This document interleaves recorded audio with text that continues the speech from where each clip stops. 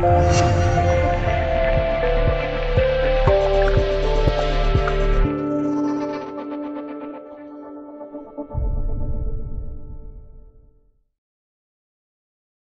标题：一次在定十艘九千吨级战舰，总数比零五六还多，与中国比下饺子速度。美国海军一直保持着世界第一大舰队的规模，可惜美军认为自己的优势依然不够，如今更提出在二零三零年以前打造一个三百五十五艘舰队的计划，这将让美国保持更高的海上优势。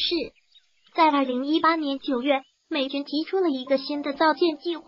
一次在定十艘伯克级驱逐舰，为此将花费至少九十亿美元，这也算叫喊数年的增购计划得以实现了。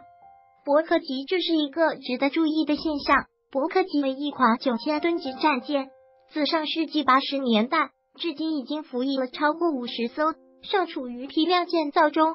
如果再加上本次追加订购，那么未来的总数可能达到八十艘，比零五六还多。甚至在总数量上把零五六甩开，这是打算与中国比下饺子速度的节奏。伯克级美国不是继续建造旧型号，而是新款的伯克三型，甚至在此基础之上进行进一步的性能提升。但是这不是问题的关键。美军突然决定追加建造那么多伯克级战舰，想干什么？许多人把它描述成美军强大的表现，其实为美国的一种无奈的表现。伯克级不管怎么说，伯克级都是一款上世纪八十年代的设计，已经不符合现代的潮流。美军急需新一代产品，但是从目前的情况来说，至少在未来十年左右，美军不会获得伯克级的替代战舰了，只能继续建造新的伯克级了，有点要落后于人了。伯克级原本打算建造 DDG 一千型，结果点错了科技树。二是时间被浪费了。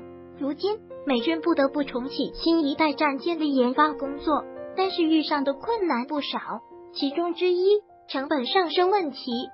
大约五年前，美军订购上一批伯克级，一共九艘，花费了六十亿美元。如今十艘变成超九十亿，几乎涨价一半。即便如此，这个价依然是便宜的。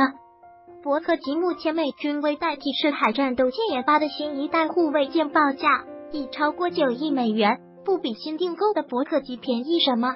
如果研发伯克级的替代型号，那么成本可能就不是单仅九亿美元的问题，可能为二十一甚至三十一的问题了。伯克级即便仅仅一艘军舰差上几亿美元，那么要达到三百五十五艘规模的造舰费用就会上升一大截。这绝对是美国目前的军费水平无法承受的，已经屡创新高了，再继续追加难度太大。事实上，美军为了军费已经头痛死了。伯克级美军在无奈之下，只能多建造一点伯克级，毕竟比新建还能便宜一点，也可以为新建的研发争取一点时间了。否则，建造新建的后果就是成本更高了。